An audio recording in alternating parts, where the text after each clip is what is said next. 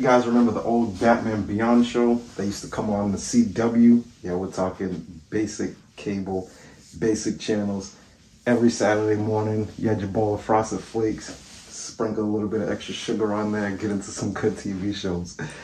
This is actually the Batman Beyond helmet, but from the Arkham Knight series video game, and I'm going to be bringing it to life. Before we get into this, there are definitely a couple things that we're going to need in order to make this helmet look realistic. Let's check out with Alfred. Yes, Master Wayne, please with caution first. We have your palm sander. To weld this together, I've provided your soldering iron. And for those imperfections, sandpaper. I want to get into a topic that I'm that's like I think is super important because I see it a lot.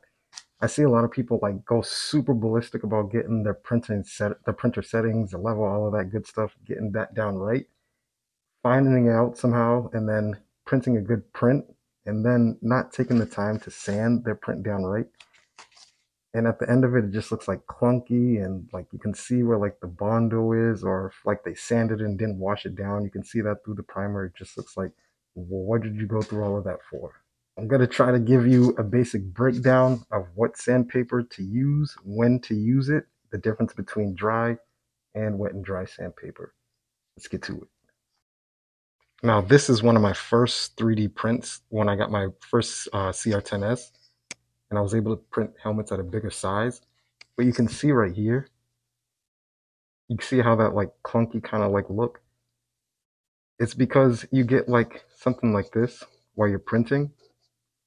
You might not sand it down the best, put some primer over and then just color over it and then you're done from there. That makes everything look so ugly. And it's like I get it.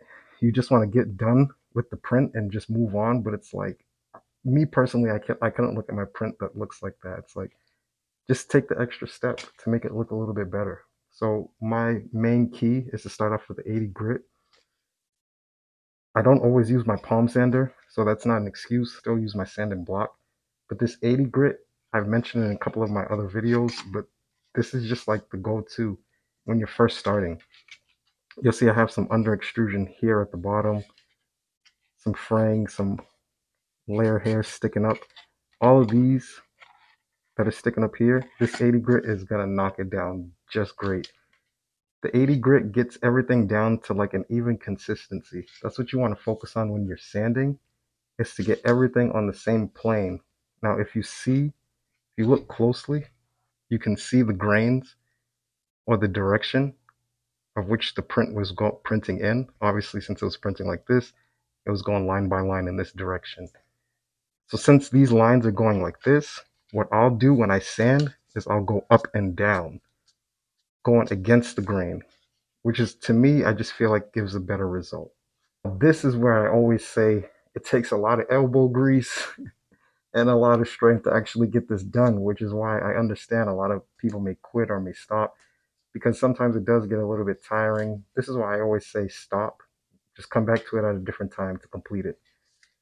From the 80, once I get everything solid and knocked down with the 80 as best as I can possibly get, what I'll do from there is I'll coat it with primer. After that primer is settled, I'll then bump up from the 80 to 180 or something around this range, depending on how bad it still looks from there. If it still has a lot of like under extrusion that's really looking bad and a lot of this stuff that's still sticking up, I'm going to hit it with the 80 again. If not, from there I'll continue. From the 180, 220 is about the highest that I go with dry sandpaper. Again, I don't want to sand this too far down and start to create like my own looking under extrusion, which I have done using a palm sander. I'll sand it too rough and then all of my print will just start to like break away. So that's what I mean by sanding it to get it to even texture, an even layer, and then letting the primer come over that and hide everything from there.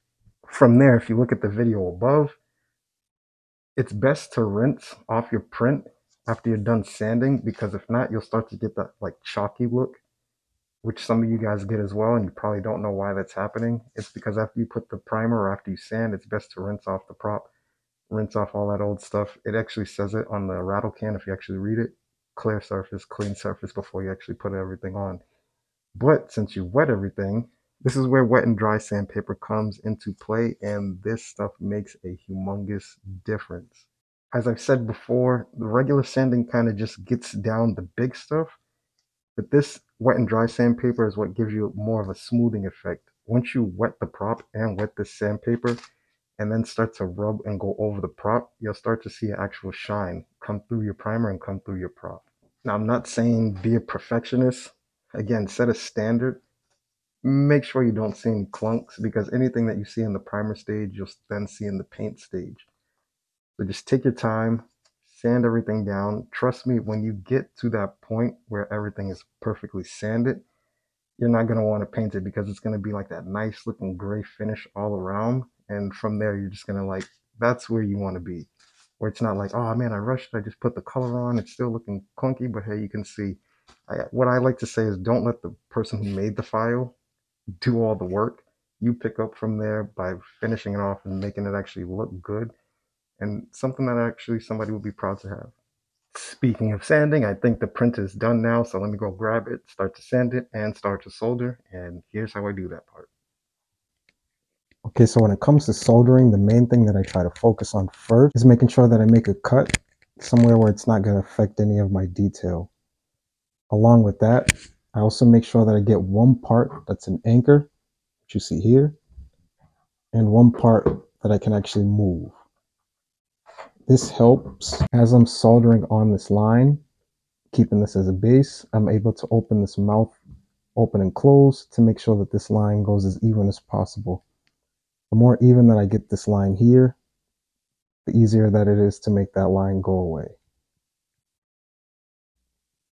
After I get a good trace on the outside, from the inside it's a lot easier to just simply brace. This isn't anything that anybody's going to see, so I'm able to get a lot tougher on the inside.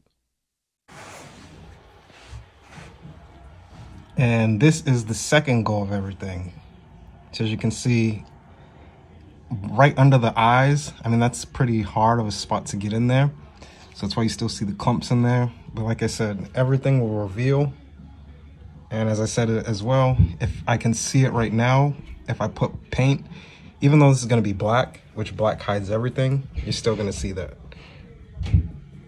So this is just going to be a little bit more sanding. Once I get this face done, then it's going to be ready for paint. Trust the process. Now as that next coat dries, of course the next thing that we want to get into is paint. Now depending on what you're trying to achieve, if you're trying to make something that's accurate, or if you're just trying to have fun with it and make your own creation, of course that's something in its own. But to get something more accurate, there are different sites or there are different reference images that you can find. Of course, Google being the most useful search engine. There are different keywords that you can actually use, such as like screen use, prop, so on and so forth, and that will lead you to a good reference image. This here is a post that was on Reddit that I was able to use and get to see like the different angles, front, back, side, so that way I know exactly what I have to do, what colors I have to use, and where I should actually paint what. And for the collectors out there, of course, there are always Hot Toys. Now, I do a lot of comics, a lot of heroes, so Hot Toys is a good reference on what to actually do. That suit looks amazing. Guys, the suit's coming soon. Everybody keeps asking me to make one, so definitely have to make one.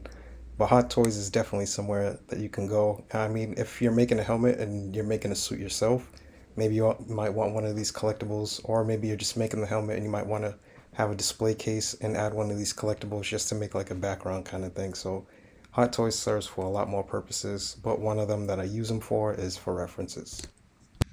So as far as paint goes, I have two separate options that I think that I'm to go with. Either the gloss black that you just seen, or the satin or ultra matte black, just to give a, a non-reflective kind of finish. Yes, there are different versions, but I'll be finishing off some of the silver with this here graphite powder. The cheap stuff. Gets the job done.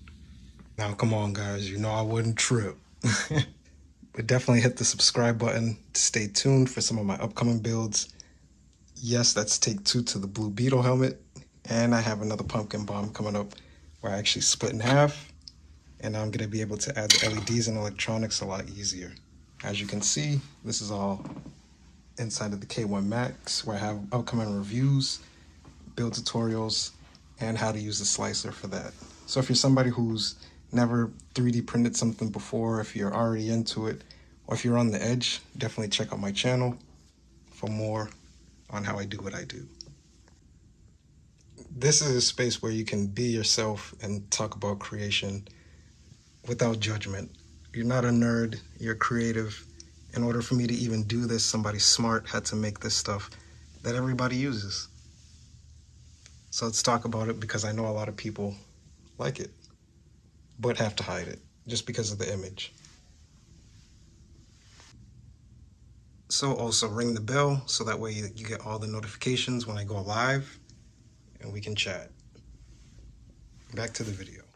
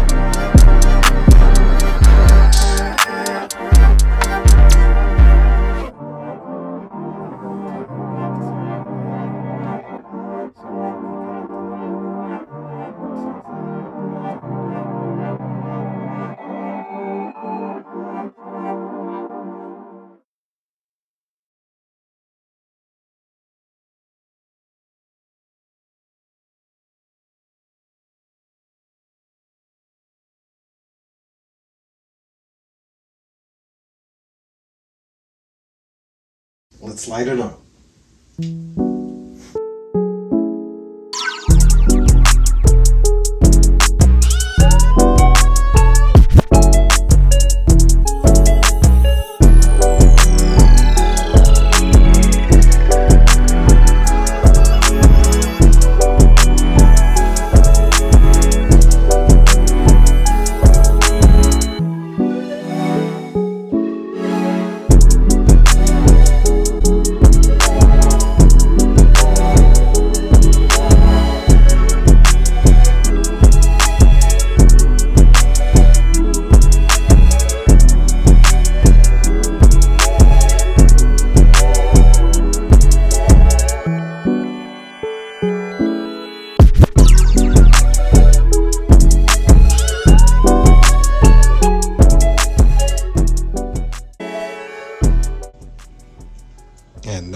Beautiful end result if you ask me.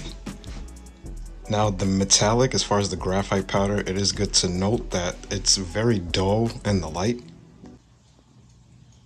So you can see the difference. But I do like that effect because it's Batman, he is a ninja.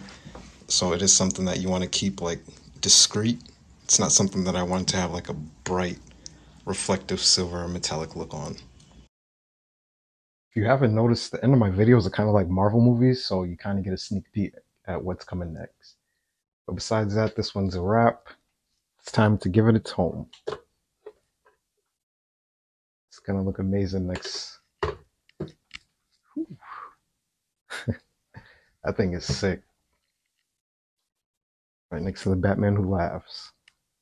I should actually guys on a live how I should actually organize my tray, um, my display case, like which helmet should be where. I kind of have like a DC side and then like a Marvel side but I kind of want to interact with you guys, see how you guys want me to display my different props.